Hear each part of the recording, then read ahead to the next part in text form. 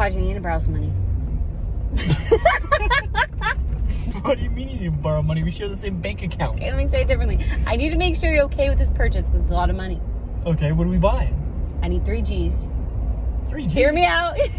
Portable pool, attach it to the Jeep, hire a driver. We cruise around town as we have a pool party on top of the car. that actually sounds pretty cool. Doesn't it? Yeah. When are we doing it? How are we doing it? So we're Sign in. me up. Come on. I'm down.